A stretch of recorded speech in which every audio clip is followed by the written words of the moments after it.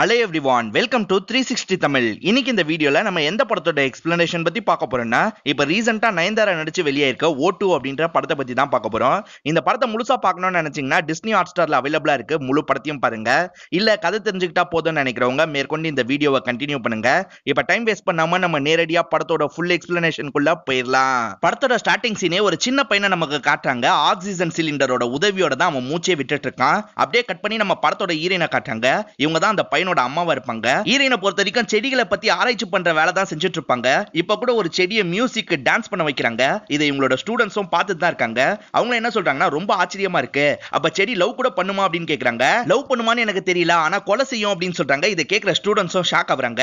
மேற்கொண்டு ஈரன் என்ன சொல்றாங்கன்னா அந்த செடிக்கு ஏதாவது பூச்சியால ஆபத்துன்னு அதுக்கு தெரிய வந்ததுன்னா அந்த பூச்சியை சாவடிச்சிடும் அதை தான் சொன்னேன் அப்படின்னு மேற்கொண்டு சில விஷயங்கள் பேசிட்டு இருக்காங்க. இப்ப அந்த குட்டி பையனால மூச்சு விட முடியல ஆக்சிஜன் சிலிண்டரை பாக்குறான் அப்பதான் அதுல கம்மியா இருக்குன்னு தெரியுது. சிலிண்டரை மாத்தணும் அப்படின்னு ட்ரை பண்ணிட்டு இருக்கான் ஆனா மூச்சு வாங்கி கீழே விழுந்துடுறான். இப்பதான் ஈரனுக்கு இந்த சவுண்ட் கேக்குது. வேகமா பையனோட ரூம் வராங்க அப்பதான் பையன் மூச்சு விட கஷ்டப்படுறான்றத புரிஞ்சுக்கிறாங்க. வேகமா இவங்க சிலிண்டரை மாத்தி விடுறாங்க. சாரிடா நான் கவனிக்கல அப்படின்னு சொல்றாங்க.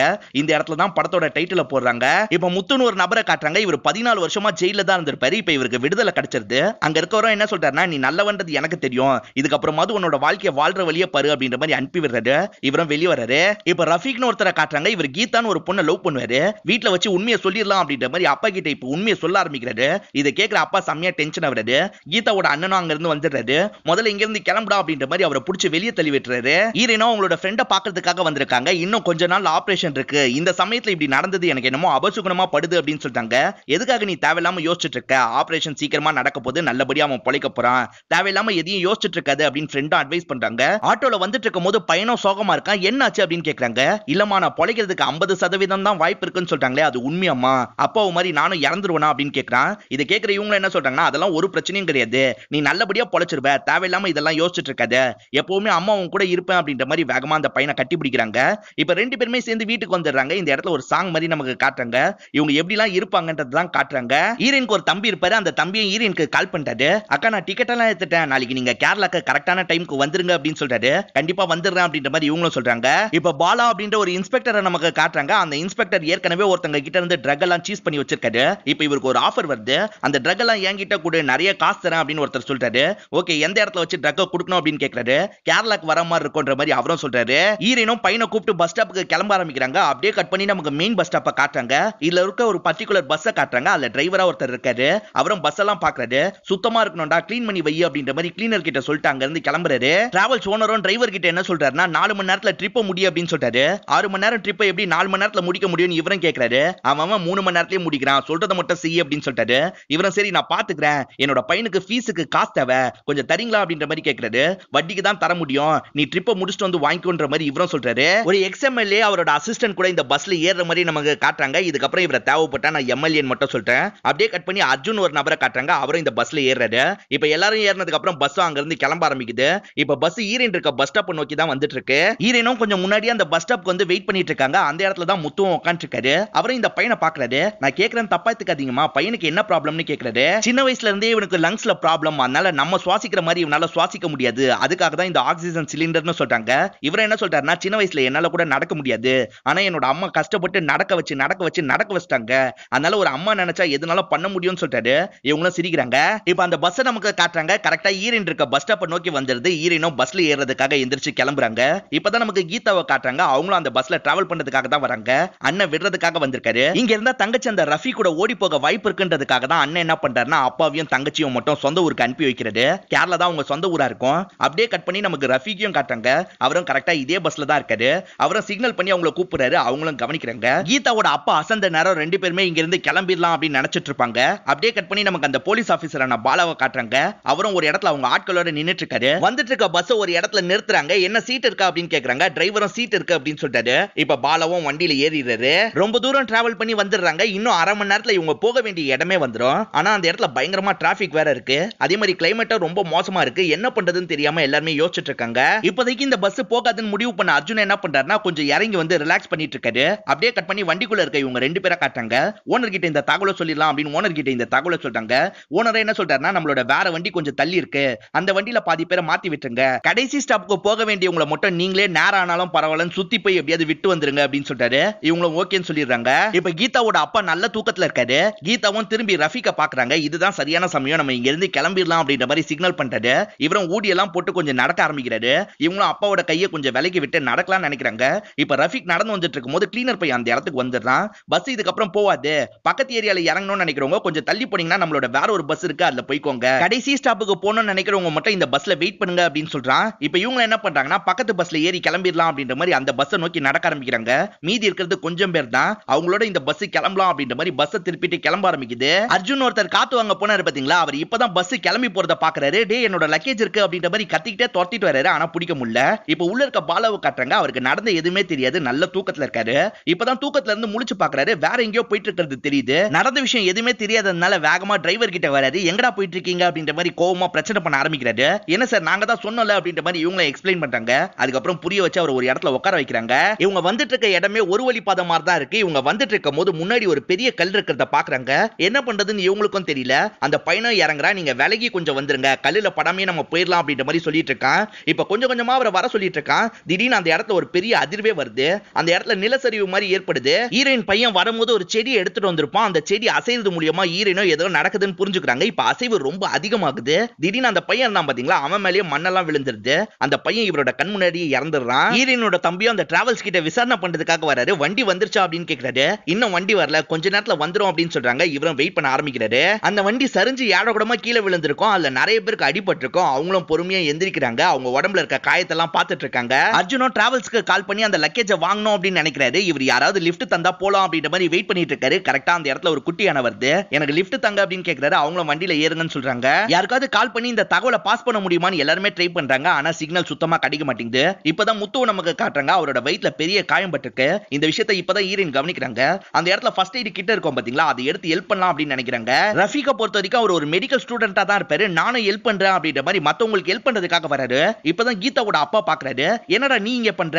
என்னோட பொண்ணை கூட்டு போறதுக்காக தானே வந்திருக்க அப்படின்ற மாதிரி அவர்கிட்ட எல்லாம் போடுறாரு. ஈரனும் எல்லாம் வேணாம் அப்படின்னு பிரிச்சு விடுறாங்க. இப்ப ரஃபீக்கும் சிலருக்கு ஹெல்ப் பண்ற வேலையெல்லாம் பார்த்துட்டு இருக்காரு இந்த விஷயத்தை கவனிச்சிட்டு இருக்க போலீஸ் என்ன பண்றாருன்னா வேகமா அந்த இடத்துக்கு வந்துட்டு இருக்காரு அப்பதான் எம்எல்ஏவோட அசிஸ்டன்ட் இருக்காரு பாத்தீங்களா? அவர் இறந்துட்டாருன்றது நமக்கு தெரியுது. இந்த போலீஸும் சும்மா இருக்க மாட்டாரு. அங்க இருக்க ரஃபி கிட்ட தேவையில்லாம பேசி பிரச்சனை எல்லாம் பண்ணிட்டு இருக்காரு ரஃபிக்கும் கோவப்பட்டு என்ன வேணா பேசுவீங்களா அப்படின்ற மாதிரி இவர் கூட சண்டை போடுறாரு. இவங்க ரெண்டு பேருமே ஒரு ஸ்டேஜ்ல மாத்தி மாத்தி அடிச்சுக்கவே ஆரம்பிக்கிறாங்க. இதை கவனிச்சிட்டு இருக்க ஈரனும் ஒரு நிமிஷம் நிறுத்துங்க அப்படின்னு சொல்றாங்க. நம்ம பூமி கடியில இருக்கோம். நமக்கு தேவையான ஆக்சிஜன் இங்க கிடைக்காது. நம்ம அமைதியா எதுவுமே செய்யாம இருந்தா மட்டும்தான் பன்னெண்டு மணி நேரமாவது நம்ம உயிரோட இருக்க முடியும். இப்படிலாம் சண்டை போட்டா எனர்ஜி சீக்கிரமா போயிடும் சீக்கிரமா இறந்து போயிடும்னு சொல்றாங்க. இப்பதான் கரெக்டா டிரைவர் இருக்காரு பாத்தீங்களா? அந்த கண்ணாடியை உடச்சிட்டு இங்க வந்து விழுறாரு. இவர் வந்ததுனால ஈரன் என்ன சொல்றாங்கன்னா இன்னும் பத்து மணி நேரம் தான் இருக்கு அப்படின்னு சொல்றாங்க. இப்ப அர்ஜுனும் குட்டி அணையில இவங்க கூட வந்துட்டு இருக்காரு. இது அதிகம் வராத ரூட்டு போல திடீர்னு ஒரு இடத்த பார்த்து இவங்க மூணு பேருமே ஷாக் ஆகுறாங்க. என்னன்னு பாத்தீங்கன்னா அந்த இடத்துல தான் அந்த சரிவு ஏற்பட்டிருக்கும். அர்ஜுன் இவங்களோட வண்டிலேயே சார்ஜ் போட்டிருப்பாரு. இப்ப டிராவல்ஸ் ஏஜென்சில இருந்து இவருக்கு கால் வருது. இவர் ஏற்கனவே கால் பேசினதுனால தான் கால் வந்திருக்கும். என்ன சார் அந்த இடத்துல வண்டி வந்துருச்சா? என்னோட லக்கேஜ் மட்டும் மிஸ் பண்ணிட்டேன். அதை மட்டும் எடுத்து வச்சிருங்க அப்படின்னு சொல்லிட்டாரு. இன்னும் வண்டி வரலையே. வண்டி வந்தா சொல்றோம் அப்படின்ற மாதிரி அவங்களும் சொல்றாங்க. அந்த டிரைவரும் ரொம்பவே பயந்து போயிடுறாரு. இப்ப கடவுள் கிட்ட வேண்டிட்டு இருக்காரு. ஈரனும் அந்த டிரைவரையே பார்த்துட்டு இருக்காங்க. இந்த மாதிரி நம்மளோட லக்கேஜ் மூலியமா ஏதாவது கிடைக்க வாய்ப்பு இருக்கு. எல்லாரோட லக்கேஜையும் இங்க இருந்தே எடுக்க முடியுமா அப்படின்னு கேக்குறாங்க. இப்ப போலீஸ் அந்த இடத்துக்கு வந்துடுறாரு. லக்கேஜ் எப்படி எடுக்கிறதுன்னு கேக்குறாரு. இந்த ரெண்டு சீட்டை மட்டும் எடுத்துட்டா லக்கேஜ் எல்லாம் எடுத்துடலாம் அப்படின்ற மாதிரி அவரும் கலெக்டர் வேலையெல்லாம் பாத்துட்டு இருக்காரு இப்ப கீதாவோட அப்பா செம கோவத்துல இருக்காரு. கீதாவும் சாரி கேக்குறாங்க. அப்பாவும் என்ன சொல்றாருன்னா என்னை விட்டு ஓடி போலான்னு முடிவு எடுத்துட்டல இதுக்கப்புறம் நீ என்னோட பொண்ணே கிடையாது. என்கிட்ட பேசாத அப்படின்னு சொல்றாரு. இப்ப டிரைவரும் அந்த விஷயத்த ஓபன் பண்ணிடுறாரு. அதுக்குள்ள ஒவ்வொரு லக்கேஜா கையை விட்டு எடுத்து மேல வைக்கிறாரு. இப்ப ஈரனும் அவங்களோட லக்கேஜ் எடுக்கிறதுக்காக அந்த இடத்துக்கு வராங்க. அவங்களோட லக்கேஜ் எடுத்துட்டு சைலண்டா அவங்களோட இடத்துக்கு வந்துடுறாங்க. சேஃப்டிக்காக பையனுக்கு இன்னொன்னு ஆக்சிஜன் சிலிண்டர் எடுத்துட்டு வந்திருப்பாங்க. அது இருக்குன்னு தெரிஞ்சா பெரிய பிரச்சனை ஆயிடும் அதுக்காக பையனுக்காக அதை வச்சுக்கலாம் அப்படின்ற மாதிரி கமுக்கமா எடுத்துட்டு வந்திருப்பாங்க. ஈரின் திருட்டு மொழியோட கிராஸ் பண்ணதை இவர் கவனிச்சிருப்பாரு. அதனால வேகமா அவங்க பக்கத்துல வந்துடுறாரு. குடிக்க தண்ணி கிடைக்குமா அப்படின்னு கேக்குறாரு. இவங்களும் அப்படியே திணற ஆரம்பிக்கிறாங்க. இல்ல சார் தண்ணி இல்ல அப்படின்னு சொல்லிடுறாங்க. பின்னாடி அடிபட்டு இருக்க முத்துவும் என்கிட்ட தண்ணி இருக்கு அப்படின்னு சொல்றாரு. இந்த போலீஸும் அவரை நோக்கி போயிடுறாரு. ஈரனும் இவன் கண்டுபிடிச்சிட்டா பெரிய பிரச்சனை ஆயிடும் அப்படின்னு யோசிச்சுக்கிட்டே அவரை ஒத்த கண்ணால பாத்துட்டு இருக்காங்க. அவரும் தண்ணியை குடிச்சுக்கிட்டே இவங்கள ஒத்த கண்ணால பாத்துட்டு இருக்காரு. அர்ஜுன் அவருக்கு சீக்கிரமா கல்யாணம் ஆக போகுது அப்படின்ற விஷயத்த சொல்றாரு. இப்ப மேற்கொண்டு அர்ஜுன் என்ன சொல்றாருன்னா நம்ம வந்துட்டு இருந்த வழியில அந்த பஸ் திரும்பி போன மாதிரி எதையும் பார்க்கல. அதே மாதிரி அந்த பஸ் வர வேண்டிய இடத்துக்கும் வரல. அப்ப அந்த பஸ் என்னதான் இருக்கும் அப்படின்னு யோசிக்கிறாரு. ஒருவேளை ஏன் அந்த பள்ளத்துல விழுந்துடக்கூடாது அப்படின்னு ஷாக் ஆகுறாரு ஈரினா என்ன சொல்றாங்கன்னா மேல இருந்து ஆக்சிஜனை கொஞ்சம் எடுக்க முடிஞ்சா நல்லா இருக்கும் அப்படின்னு சொல்றாங்க. அதுக்கு என்ன வழி பண்ணலாம் அப்படின்னு எல்லாருமே யோசிக்கிறாங்க. அங்க இருக்கும் பாத்தீங்களா அந்த கம்பி எல்லாத்தையும் ஜாயின் பண்ணி மேல அனுப்பலாம் அப்படின்னு நினைக்கிறாங்க. இப்போ ஒவ்வொரு கம்பியா மேல ஏத்திட்டு இருக்காங்க. கொஞ்சம் தூரம் ஏத்தினதுக்கு அப்புறம் இன்னொன்று கம்பி கூட அட்டாச் பண்ணிக்கிறாங்க. இப்படியே தள்ளி தள்ளி கம்பியை மேல ஏத்திட்டு இருக்காங்க. பையனும் நடந்த விஷயத்தெல்லாம் பார்த்து செம்மையா பயந்துருக்கான். இப்ப ஈரனும் அவனை கொஞ்சம் கொஞ்சமா சமாதானப்படுத்துறாங்க. நீ எதுக்காகவும் பயப்படக்கூடாது. அம்மா தான் உன் பக்கத்துலயே இருக்கல அம்மா கடைசி வரைக்கும் உன் கூடயே இருப்பேன். நீ தைரியமா இருக்கணும்னு சொல்றாங்க. இவங்க இந்த வேலையை பார்த்துட்டு இருக்கும் போது பஸ்ல இருக்க கரண்ட் போயிருது. ஒருவேளை ஃபியூஸ் போயிருக்கும் அப்படின்ற மாதிரி டிரைவரும் சொல்றாரு. அப்படியே கட் பண்ணி நமக்கு அர்ஜுனா காட்டுறாங்க. அவரும் செக் போஸ்ட்ல இருக்க போலீஸை பாக்கிறதுக்காக வராரு. இந்த மாதிரி ஒரு ஆக்சிடென்ட் நடந்திருக்கு. பஸ் மாட்டிருக்க வாய்ப்பு இருக்குன்னு சொல்றாரு. இவங்க என்ன பண்றாங்கன்னா மத்தவங்களுக்கு தகவலை பாஸ் பண்றாங்க. இப்பதான் ஓனரோட காதுக்கும் இந்த தகவல் வந்து சேருது. அதே மாதிரி ஈரினோட தம்பிக்கும் இந்த தகவல் வந்து சேருது. இதை சரி பண்ண என்ன செய்யணும் அப்படின்ற மாதிரி போலீஸும் டிரைவர் கிட்ட கேக்குறாரு அந்த ரூமுக்கு தான் போனோம் அப்படின்ற மாதிரி அந்த டிரைவிங் இடத்த காட்டுறாரு. அந்த இடத்துக்குள்ள போனா சின்ன பையனால தான் போக முடியும். அதனால ஈரினோட பையனை போக சொல்றாங்க அதெல்லாம் முடியாதுங்க. என்னோட பையனை நான் அனுப்ப மாட்டேன் அப்படின்னு சொல்லிட்டாங்க. அந்த இடத்துல உன்னோட பையன் மட்டும் தான் போக முடியும் போலீஸும் அடம்பிடிக்கிறாரு. இப்ப அந்த பையனை என்ன சொல்லிட்டானா நீங்க தானே தைரியமா இருக்கணும்னு சொன்னீங்க. நான் தைரியமா தான் இருக்கேன். நானே போய் இந்த வேலையை செய்யறேன் அப்படின்ற மாதிரி அந்த இடத்துக்குள்ள போறான். அடுத்த சைடும் வந்துடுறான். இங்க என்ன பண்ணும் அப்படின்ற மாதிரி அந்த டிரைவர் கிட்ட கேட்கலாம் டிரைவர் என்ன சொல்றாருன்னா இந்த இடத்துல ஒரு பாக்ஸ் தெரியுதா அந்த பாக்ஸ்ல மட்டும் வேற ஒண்ணு சொருவணும்பா அப்படின்னு சொல்லிட்டாரு. இவனும் அதே மாதிரி பண்ணிடுறான். அந்த இடத்துல கரண்ட் வருது இப்ப வேகமா ஓட்ட வழியா அம்மா கிட்ட வந்துடுறான். அம்மாவை கட்டி பிடிக்கிறான். இப்ப எல்லாருமா சேர்ந்து திரும்பி அந்த பைப்பை விடுறதுக்காக ட்ரை பண்ணிட்டு இருக்காங்க. அந்த பைப்பை கொஞ்சம் கொஞ்சமா விட்டுட்டு இருக்காங்க. டாப்லயே வர வச்சிடுறாங்க. இப்ப டாப்ல வந்துருச்சு அப்படின்ற மாதிரி டிரைவர் சந்தோஷமா சொல்றாரு. நடுவுல அடைஞ்சிருக்க மண்ணெல்லாம் வெளியே எடுத்துடுறாங்க. இப்ப காத்த சுவாசிக்க முடியுதான் ட்ரை பண்றாங்க. சுவாசிக்கவும் முடியுது. இப்போ ஒவ்வொருத்தரா லைன்ல வந்து அந்த காத்த சுவாசிச்சுக்கிறாங்க. இப்பயே போலீஸ் கொஞ்சம் பிரச்சனை பண்ற மாதிரி அவர் தான் நிறைய காத்த சுவாசிக்கிறாரு. இப்ப திடீர்னு உள்ள போன் அடிக்கிற சவுண்ட் கேக்குது. இவங்களுக்கும் ஒண்ணுமே புரியல. யாரோட போன் அப்படின்ற மாதிரி ஈரனும் தேட ஆரம்பிக்கிறாங்க. ஈரனோட போன் தான் அடிக்கும். ஹீரோயினும் அட்டன் பண்ணி தம்பி கிட்ட பேச ஆரம்பிக்கிறாங்க. தம்பி பேசுறது இவங்களுக்கு கேட்க மாட்டேங்குது இவங்க பேசுறது தம்பிக்கு கேட்க மாட்டேங்குது. அக்கா அக்கான்னு கூப்பிடுறாரு. ஆனா இவங்க கிட்ட இருந்து எந்த ஒரு தகவலும் வரல. இப்ப டவர் கட் ஆனதுனால திரும்பி காலம் கட் ஆயிருது. இப்ப உள்ள இருக்க எம்எல்ஏவை காட்டுறாங்க. அவரும் அவரோட ஒய்ஃப் போட்டோவை பாக்குறாரு. திரும்பி உடனே வந்து பாப்பனானே எனக்கு தெரியலையே அப்படின்ற மாதிரி பயங்கரமா புலம்பிட்டு இருக்காரு. இப்பதான் முத்துவா காட்டுறாங்க. அவரும் மூச்சு விடுறதுக்காக நிறைய ஆக்சிஜனை சுவாசிக்கிறாரு. இவனே எல்லா ஆக்சிஜனையும் எடுத்துட்டா நம்ம என்ன பண்றது? இவனே நம்ம எல்லாரையும் சாவடிச்சிருவான் போல. அதுக்கு முன்னாடி இவனை நம்ம சாவடிச்சிடலாம் அப்படின்ற மாதிரி எம்எல்ஏ சொல்றாரு. ஆனா ரஃபிக்கும் ஈரனும் இதெல்லாம் கூடவே கூடாதுன்ற மாதிரி பேசிட்டு இருக்காங்க. இதெல்லாம் அங்க இருக்க போலீஸும் கேட்டுட்டு தான் இருக்காரு. அவரோட பேக்ல கன்னும் எடுத்துட்டு வந்திருப்பாரு. அந்த கன் எடுத்துட்டு வேகமா இவங்க கிட்ட நடந்து வராரு. உன்னை கொல்றதுல எனக்கும் விருப்பம் கிடையாது. நீ மூச்சு விடுறத நிறுத்திக்கோ. நீயே இறந்து போயிடு அப்படின்னு சொல்லிட்டாரு. இப்ப அந்த நபர் என்ன பண்றாருன்னா மூச்சு விடாம அமைதியா இருக்காரு. இவரும் கண்ணை கட்டி மிரட்டிக்கிட்டே இருக்காரு. ஒரு ஸ்டேஜ்ல அவரால் மூச்சு விடாம இருக்க முடியல. மூச்சை விட்டுறாரு. கோவப்பட்ட இவர் என்ன பண்றாருன்னா அதே இடத்துல அவரை ஷூட் பண்ணிடுறாரு. இப்ப அங்க இருக்கிற எல்லாருமே செம்மையா பயப்பட ஆரம்பிக்கிறாங்க. இப்ப ஈரின் உட்காந்துருக்காங்க பாத்தீங்களா? அந்த இடத்த விட்டு கிளம்பி போ அப்படின்ற மாதிரி கையை பிடிச்சி இழுத்து தள்ளி விடுறாரு. அந்த இடத்த உட்காந்துருக்கான் பாத்தீங்களா? அந்த பையன் ஆக்சிஜன் சிலிண்டரை யூஸ் பண்றதை புரிஞ்சுக்கிறது. இதுக்கப்புறம் நீயும் நானும் ஃப்ரெண்ட்ஸ்ன்ற மாதிரி அந்த பையன் கிட்ட பேசுறது. அதே மாதிரி இருக்கிற கண்ணை வச்சு அங்க இருக்கிற எல்லாரையுமே மிரட்டிட்டு இருக்காரு. எல்லாருமே என்ன பண்றதுன்னு தெரியாம யோசிச்சுட்டு இருக்காங்க. இதுக்கப்புறமா இவனை விடக்கூடாது. இவனை ஏதாவது பண்ணணும்னு ஈரின் யோசிக்கிறாங்க. அந்த இடத்துல ஒரு பெரிய ராட் இருக்கிறத பாப்பாங்க அந்த போலீஸ் அசரும் போது மண்டிலே ஒரு போடு போடுறாங்க. அந்த போலீஸும் ஏடகடமா கீழே விழுந்துடுறாரு. மண்டியில ஒரு பெரிய காயமும் பட்டுருது. அப்படியே கட் பண்ணி நமக்கு ரெஸ்கியூ டீமை காட்டுறாங்க. இந்த இடத்துக்கு ஒரு லேடி ஆபீசர் வந்திருக்காங்க. அவங்களும் சீக்கிரமா வேலையை பாருங்க அப்படின்னு ஆரம்பிக்க சொல்றாங்க. போலீஸ் முழிச்சு பார்க்கும் போது தான் அவர் துணியால கட்டியிருக்கிறது அவருக்கு தெரியுது. இப்ப கூட உள்ள இருக்க எல்லாருமே எப்படி தப்பிக்கிறதுன்னு யோசிச்சுட்டு இருக்காங்க. இப்ப கீதாவோட அப்பா என்ன பண்றாருன்னா ஒரு இடத்துல ஏதோ வழி தெரியுற மாதிரி பாக்குறாரு. அந்த ஜன்னலை உடச்சிடுறாரு. அந்த ஜன்னல் வழியா பார்த்தா ஒரு புதர் மாதிரி தான் தெரியுது. இந்த புதர் வழியா நம்ம போனா தப்பிச்சிட வாய்ப்பு இருக்கு அப்படின்ற மாதிரி எல்லாருக்கிட்டையும் சொல்லிட்டு இருக்காரு. போற வழியில நிலச்சரிவு ஏற்பட்டா இன்னும் பிரச்சனை ஆயிடும் சார். அதனால வேணாம் அப்படின்ற மாதிரி ஈரேன்னு சொல்றாங்க. இல்ல இது என்னமோ எனக்கு கடவுளா பார்த்து தந்த வாய்ப்பு மாதிரி இருக்கு. என்னோட பொண்ணை நான் எப்படியாவது காப்பாத்தணும். அதனால நான் தைரியமா முன்னாடி போறேன் அப்படின்னு சொல்லிட்டாரு இதை கேட்டுட்டு இருக்க ரஃபிகா என்ன நினைக்கிறாருன்னா நம்ம போனா நல்ல பேர் கிடைக்கும் அப்படின்னு நினைக்கிறேன் இருக்கிறது. நீங்க ரெண்டு பேருமே போவேணா நான் முதல்ல போய் பாக்குறேன் அப்படின்ற மாதிரி வேகமா அந்த புதற்குள்ள போறாரு. அங்க இருக்க போலீஸ் என்ன பண்றாருன்னா இவங்களுக்குள்ள சண்டையை திருப்பி விடணும் அப்படின்னு நினைக்கிறது அதனால ஈரனை நம்பாதீங்க. அவ சூழ்ச்சிக்காரியா தெரியுதா? அவ உங்க எல்லாரையும் ஏமாத்திருவா நான் சொல்றதை கேளுங்க அப்படின்ற மாதிரி சொல்லிக்கிட்டே இருக்காரு. கரெக்டா அந்த இடத்துக்கு டிரைவர் கன் எடுத்துட்டு வராரு வாய மூடுறா அப்படின்னு சொல்லிட்டாரு. நான் சொல்றதை கேளுன்னு இவரும் பேசுறாரு. ஆனா டிரைவர் கேட்க மாட்டாரு தம்பியும் அங்க இருக்க ஆபீஸ்ல பாக்குறதுக்காக வராரு. எதுக்குன்னு பாத்தீங்கன்னா இவர் கொஞ்ச நேரத்துக்கு முன்னாடி அக்கா கிட்ட பேசினாரு பாத்தீங்களா? அந்த தகவலை சொன்னா அக்காவை எப்படியாவது ட்ரேஸ் பண்ண முடியுமான்னு பாக்குறதுக்காக தான் வந்திருக்காரு. அப்படியே கட் பண்ணி டிவில எல்லாம் இந்த நியூஸ் வந்துட்டு இருக்கிறத காட்டுறாங்க. ரஃபீக் அந்த புதருக்குள்ள வந்துட்டு இருக்கும் போது பின்னாடியே கீதாவோட அப்பாவும் வராரு. இவரை நீங்க எதுக்காக வந்தீங்கன்னு கேக்குறாரு. என்னோட பொண்ணியை இழுத்துட்டு போக பார்த்தல அப்படின்ற மாதிரி அந்த இடத்துல வச்சு சண்டை போடுறாரு. என்ன பண்ணிட்டு இருக்கீங்க நிறுத்துங்க அப்படின்ற மாதிரி இவரை நிறுத்த சொல்றாரு. இப்ப திடீர்னு அந்த இடத்துல நிலச்சரிவு ஏற்படுறத நமக்கு காட்டுறாங்க. முதல்ல அப்பாவும் வேகமா அந்த இடத்தை விட்டு கிளம்பிடுறாரு. ரஃபிக்கும் பின்னாடி வர ட்ரை பண்றாரு. இப்ப அப்பா மட்டும் வெளியே வந்து விழுந்துடுறாரு. அதுக்குள்ள மண்ணுலாம் அந்த இடத்துல க்ளோஸ் பண்ணிருது தன்னோட லவர் இறந்து போயிட்டாரா அப்படின்ற மாதிரி இவங்களும் பயங்கரமா ஃபீல் பண்ணி அழுதுட்டு இருக்காங்க. அப்பதான் அந்த இடத்துல ஒரு கை வரத நமக்கு காட்டுறாங்க. இத பாக்குற இவங்களும் வேகமா இழுத்து காப்பாத்தணும் அப்படின்ற மாதிரி இழுக்கிறாங்க. கரெக்டா அவரும் பொழைச்சிடுறாரு. இந்த விஷயம்லாம் நடந்ததுனால யாருமே அந்த போலீஸ கவனிச்சிருக்க மாட்டாங்க. பார்த்தா அந்த போலீஸ் அந்த இடத்துல இருந்து தப்பிச்சிருக்காரு. ஈரனுக்கும் என்ன பண்றதுன்னு தெரியல. எங்க பண்ணாருன்னு சுத்தி முத்தி தேடுறாங்க. அந்த இடத்துல பார்த்தா இவங்களோட பையன் இருக்கான் பாத்தீங்களா? அந்த பையனை பிடிச்சி மிரட்டிட்டு இருக்காரு. பக்கத்துல வந்தேன்னு வச்சுக்கோ ஏன் உன்னோட பையனை ஷூட் பண்ணிடுவேன் எனக்கு வேண்டியதெல்லாம் உன்னோட பையனோட ஆக்சிஜன் மட்டும்தான் அப்படின்ற மாதிரி அந்த ஆக்சிஜனை இவரும் எடுக்க ஆரம்பிக்கிறாரு. இந்த இடத்துல இருக்கவங்களுக்கு டாக்டர் என்ன சொல்றாங்கன்னா இந்நேரத்துக்கு அவங்க எல்லாருமே சைக்கலாஜிக்கலா ரொம்ப மோசமான பாதிப்புக்கு உள்ள இருப்பாங்கன்னு சொல்றாரு. ஆக்சிஜன் குறைய குறைய அங்க இருக்கிற எல்லாருக்குமே இல்யூஷனா சில விஷயங்கள்லாம் தோண ஆரம்பிக்குது. அதே மாதிரி அளவுக்கு அதிகமா கோவம் வருது. இவங்களும் ஏதாவது பண்ணணும்னு நினைச்சிட்டு இருக்காங்க. இந்த இடத்துல போலீஸ் ஆபீசர் மட்டும் என்ன பண்றாருன்னா ஃப்ரீயா ஆக்சிஜன் எடுத்துட்டு இருக்காரு. அந்த பேக்ல புதுசா ஒரு சிலிண்டர் வச்சிருந்தாங்க பாத்தீங்களா? அதுல இருக்க ஆக்சிஜனை தான் எடுத்துட்டு இருக்காரு. இதுக்கப்புறம் நீ கூட எனக்கு தேவையில்லை. உன்னோட அம்மா கிட்டே போய்க்கோ அப்படின்ற மாதிரி அந்த பையனையும் போக விட்டுறாரு. அந்த பையன் கிட்ட இருக்க சிலிண்டர்ல கம்மி ஆக்சிஜன் தான் இருக்கு. இப்ப நிறைய பேர் சேர்ந்து அந்த பஸ்ஸை தேடிட்டு இருக்காங்க. அப்ப நிலச்சரிவு எல்லாம் ஏற்படுது. அதே மாதிரி இயற்கை சூழலும் சரி கிடையாது. அதனால அங்க இருக்க நிறைய பேருக்கு ஆக்சிடென்ட் நடந்துகிட்டே இருக்கு. இத பாக்குற ஒரு ஆபீசரா என்ன பண்றாருன்னா இவங்க கிட்ட வந்து பேச ஆரம்பிக்கிறாரு.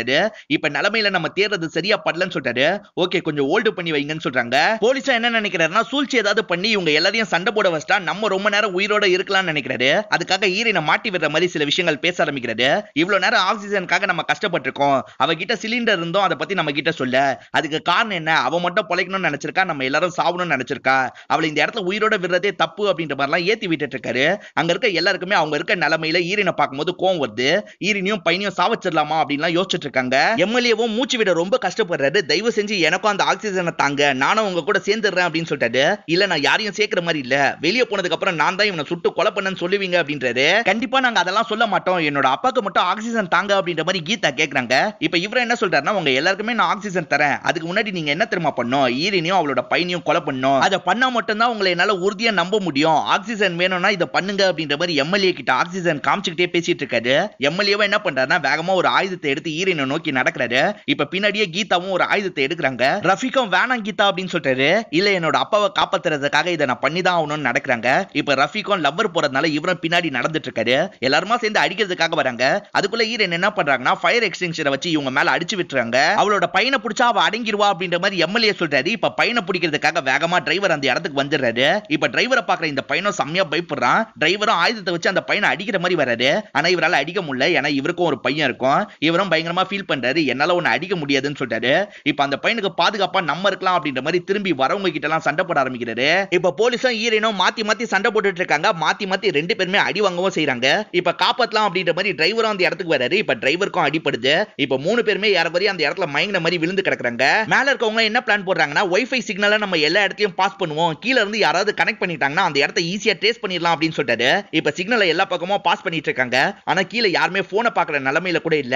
எல்லாருமே டயர்ட் ஆகி விழுந்து கிடக்குறாங்க. ஈரைனாலையும் சுத்தமா மூச்சு விட முடியல. பையன் கிட்ட கஷ்டப்பட்டு பேசிட்டு இருக்காங்க. பையனும் அம்மா எனக்கு பயமா இருக்கு அப்படின்ற மாதிரி பயங்கரமா ஃபீல் பண்ணி அழுதுட்டு இருக்கான். ஒரு ஸ்டேஜ்ல ஈரனும் மயங்கி விழுந்துடுறாங்க. இப்ப இந்த பையனும் அம்மா கூட விளையாண்டதை பத்தி எல்லாம் யோசிச்சு பாக்குறான். இந்த பையனுக்கும் என்ன பண்றதுன்னு சுத்தமா புரியல. அங்க விழுந்து கிடக்குற எல்லாரையும் ஒரு வாட்டி பாக்குறான். இதுக்கப்புறம் நம்ம மட்டும் எதுக்காக இருக்கணும் அப்படின்னு யோசிக்கிறான். அங்க சிலிண்டர் இருக்கு பாத்தீங்களா? அதை ஓபன் பண்ணிடுறான். இப்ப ஆக்சிஜன் எல்லா இடத்துலயுமே பரவிட்டு இருக்கு. யாராவது கனெக்ட் பண்ணிடுவாங்க அப்படின்ற மாதிரி இந்த லேடி ஆபீசரும் ஆர்வமா பாத்துட்டு இருக்காங்க. ஆனா யாரும் கனெக்ட் பண்ற மாதிரி தெரியல. இவங்களும் அப்செட் ஆகி வெளியே வந்துடுறாங்க. இப்ப உள்ள நடக்கிறத நமக்கு காட்டுறாங்க. இந்த பையனும் அம்மா கிட்ட வந்து படுத்துறான். அநியாயத்துக்கு இவ்வளவு பேர் சாவு போறாங்க அப்படின்னு இவங்களும் ஃபீலிங்கா சொல்றாங்க. இப்பதான் பஸ்ஸுக்குள்ள இருக்க அந்த சின்ன செடியை நமக்கு காட்டுறாங்க. அந்த செடியில இருந்து ஒரு இலை மட்டும் கீழே வந்து விழுது. அது பட்டது மூலியமா ஒய்ஃபை கூட கனெக்ட் ஆயிடும். இவங்களுக்கும் எக்ஸாக்டா எந்த லொகேஷன்ல இருக்காங்கன்றது தெரிஞ்சிடும் உடனே அந்த இடத்துல தோண்டி காப்பாத்தணும் அப்படின்ற மாதிரி இவங்களும் வேலையை ஆரம்பிச்சிடுறாங்க. இப்ப உள்ள இருக்க எல்லாரையும் ஒவ்வொருத்தரா காப்பாத்திட்டு இருக்காங்க. ஈரி நல்லபடியா பொழைச்சிடுறாங்க. அதே மாதிரி அங்க இருக்க நிறைய பேசஞ்சர் தப்பிக்க தான் செஞ்சிடுறாங்க. இத தம்பியும் பார்த்துட்டு தான் இருக்காரு. அதே மாதிரி அந்த குட்டி பையனை ஆபரேஷன் தேட்டருக்கு கூட்டு போய் ஆபரேஷனும் பண்ணிடுறாங்க. அப்படியே சில மாதங்கள் கழிச்சு நமக்கு காட்டுறாங்க. அந்த பையன் நல்லபடியா இருக்கான் ஈரின் கூட விளையாடிட்டு இருக்கான். இப்ப அந்த காப்பாத்தின செடி இருக்கு பாத்தீங்களா? அதை காமிச்சு நமக்கு படத்தை முடிச்சிடுறாங்க. இந்த படம் உங்க எல்லாருக்குமே பிடிச்சிருக்கும் நம்புறேன். இந்த வீடியோ உங்களுக்கு பிடிச்சிருந்தா லைக் பண்ணுங்க கமெண்ட் பண்ணுங்க. மறக்காம த்ரீ சிக்ஸ்டி தமிழ் சேனலை சப்ஸ்கிரைப் பண்ணுங்க. தொடர்ச்சியா இந்த மாதிரி வீடியோக்கள் வந்துகிட்டே தான் இருக்கும்.